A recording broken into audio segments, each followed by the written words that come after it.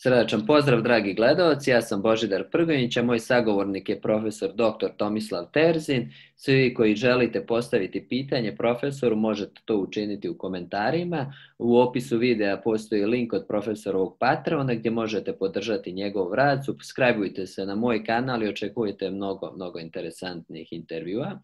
Profesore, dobili smo jedno interesantno pitanje da ako, ako podržavamo ideju inteligentnog dizajna nasuprot evolucije, kako to da se do, dešavaju određene greške kao što je ljudsko ždrijelo gdje zrak i hrana prolaze kroz istu, istu da kažemo, cevi, može čovjek se udaviti. Kako to objasniti? Da, to je izuzetno dobro pitanje. Dakle, imamo dva koncepta. Jedan koncept je teorija evolucije, po kojoj organizmi evoluiraju iz jedne forme u drugu formu i tokom tog prirodnog procesa u koji se veruje, a ne može da se dokaže, je logično očekivati da neke adaptacije, da neke anatomske osobine organizma će biti takozvani atavizmi koji su nešto što nam je zaostalo iz prošlosti i što nam sad nije potrebno ili je čak i štetno, ali još uvek imamo zato što nismo stvoreni iz ničega, nego smo proizvod evolucije. Dakle, to je, to je nešto što evolucionisti uzimaju, te atavizme, kao dokaz da, da smo mi evoluirali, dakle da nismo stvoreni. E sad i to je kao i sve ostalo stvar interpretacije. Vi prvo trebate da verujete u određeni koncept, da biste određenu činjenicu tumačili na jedan ili na drugi način. Dakle, evolucionisti tumače a, to preklapanje disajnih puteva i, i jednjaka koji je, koji je veoma opasno. Dakle, ljudi mogu da se, da se uguše sa hranom a, kada, kada se zaglavi u tom putu. A, jeste opasno i ako nas je Bog stvorio, postavlja se pitanje zašto postoji jedna takva takva rizična stvar u našem telu. To izgleda naj, na, na prvi pogled kao veoma snažan argument u prilog evolucije. Najpre da kažem da mi u našem ždrelu dakle, imamo poklopac koji zatvara, zatvara disajne puteve u trenutku kada gutamo hranu, što je samo po sebi fantastičan mehanizam. Zamislite da je evolucija trebala da to reši da pravi poklopac. Pa svi bi se pogušili pre nego što bi evoluirali. Ako čekate milionima godina da dobijete, morate da imate istovremeno i refleks, morate da imate senzore koji će da osete da dolazi e, zaloga i hrane i da poklope, dakle, da poklope disajni put, da ne bi hrana otišla u pluća, a istovremeno morate da i imate taj poklopac koji treba da evoluira. Dakle, mnogo je logičnije da je neko dizajnirao i nervni put koji će dati refleks i sam poklopac koji će da nas odbrani. Ali se postavlja pitanje zbog čega, zašto čovjek ima jednu takvu rizičnu stvar u svome telu. To nije jedina stvar. Recimo, postavlja se pitanje e, zuba umnjaka koji nam rastu tu negde oko 20. godine. Većina ljudi nema dovoljno prostora u vilici za umnjake. I ti umnjaci prave veliki broj problema, guraju druge zube, pa nam nisu lepo zubi ovaj, u nizu, mogu da naprave upalne procese i mnogi ljudi mogu da imaju problema sa, sa umnjacima. I onda se ponekad vade umnjaci da ne bi smetali. To je drugi problem. Zašto imamo više zuba nego što može da nam stane u vilicu? I jedno i drugo pitanje zapravo ima jedan te isti odgovor.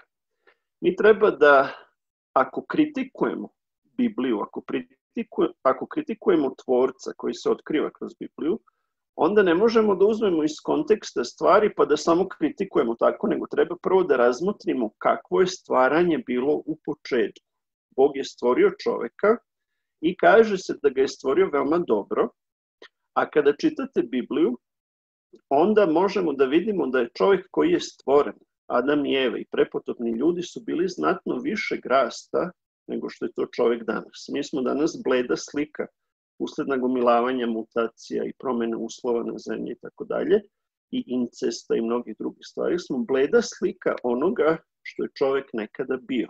Smatra se da je čovjek bio negde 4 do 5 metara visok, da je živeo mnogo duže, prosječan životni vek pre potopa se smatra da je bio oko 900 godina. E sada, kada razmišljate o tom preklapanju disajnih puteva i puta hrane u našem ždrelu, kod beba to nije tako. Dakle, beba može da sisa i može da diše istovremeno. Jer priroda hranjenja bebe dojenjem je takva da praktično zapušite čitava usta bebi, jedino može da diše na nos dok je dojite i beba istovremeno diše na nos dok uzima hranu i ne dolazi do preklapanja tih puteva. Dakle, e, anatomija ždrela bebe je drugačija i tek kasnije, tamo negde oko druge godine, e, se menjaju ti putevi, jer je sad potrebno da ta beba počne da uči da govori. Jer to nije samo put disanja i ishrane, to je takođe i govorni aparat. I taj govorni aparat treba da se podesi na određenu visinu da bi mogao da rezonira i da bismo mogli da govorimo. Druga živa bića ne govore. Međutim, i dalje je to problem. Zašto je to tako? Zašto nije podešeno malo drugačije pa da se ljudi ne udave kada jedu i govore isto vreme. Obično kaže moje dece, nemojte da pričate dok jedete. I to je zaista tako. E, odgovor na to pitanje jeste da čovek danas nije onakav kakvog ga je Bog stvorio. Bog je stvorio čoveka mnogo većeg i tada taj problem nije postojao. Dokaz za to, očigledan dokaz, su naši umnjaci. Jer smanjivanje e, ljudske lobanje i čitavog tela je bilo disproporcionalno. Dakle, nije u savršenoj proporciji i naša vilica je sada malo manja nego koliko je potrebno da taj poslednji zub nađe svoje mesto.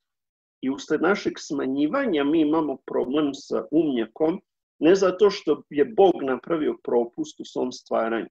Ne, Bog je dizajnirao čovjeka da živi večno onako kako ga je stvorio, a čovjek je izabrao da padne u greh, da postane smrtan i da postane uh, subject ili objekat mutacija i da se deformiše u odnosu na ono što je Bog stvorio.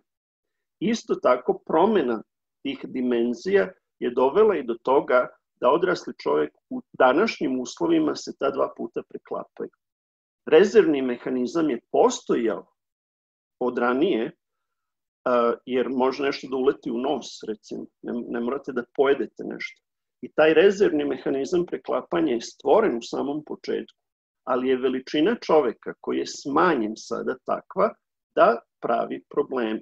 Dakle, to je samo jedan od problema takve propuste koje evolucionisti nazivaju očiglednim dokazima protiv stvaranja, zapravo su proizvod degradacije čoveka i ne umanjuju lepotu i savršenstvo onoga što je čovek probitno bio stvoren. Hvala vam puno, dragi gledalci. Ako želite postaviti pitanje, možete to uraditi u komentarima ili putem Patreona. Takođe možete podržati rad profesora putem Patreona. Link od Patreona se nalazi u opisu videa, subscribeujte se na moj kanal i očekujte još mnogo interesantnih odgovora.